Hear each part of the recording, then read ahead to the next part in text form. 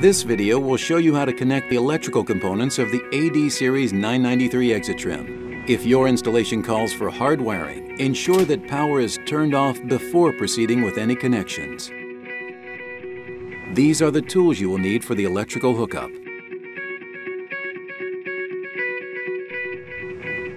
With the inside top cover removed, locate the white door position switch wires. Trim them and strip the ends.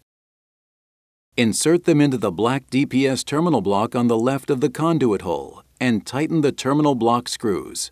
Polarity is not important.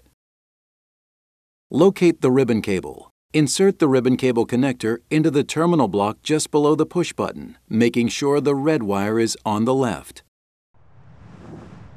If you are installing an AD300 or 400, you will need to connect your RX wires. Connect the wires from the device to the plug assembly using the wire nuts. Polarity is not important.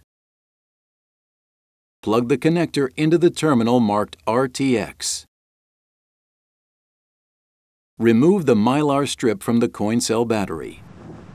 This step is for the AD300 hardwired separately. Locate the two power wires coming from the conduit hole. Strip and connect them to the power aux terminal. Make sure that the polarity of the wires is correct. The positive terminal is above the negative terminal.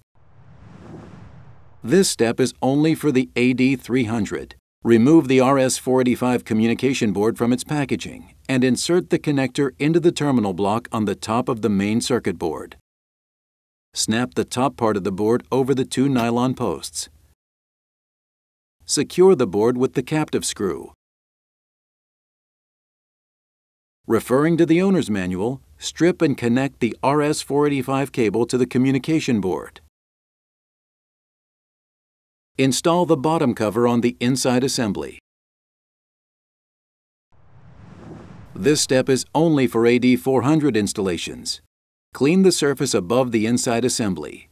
Peel the white backing from the foil gasket and stick it above the assembly following the contours of the inside assembly. Remove the wireless communication board from its packaging and insert the connector into the terminal block on the top of the main board. Snap the top part of the board over the two nylon posts and the two bottom holes will align with the metal posts for stability. This step is only for battery-powered locks. Both the 4 and 8 battery units install in a similar way.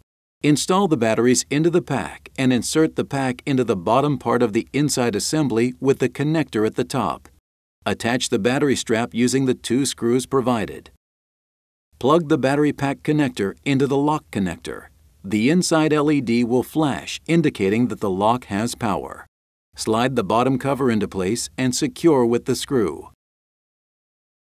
Install the top cover. The exit trim is now ready to be initialized and configured. Consult your user guide for more details.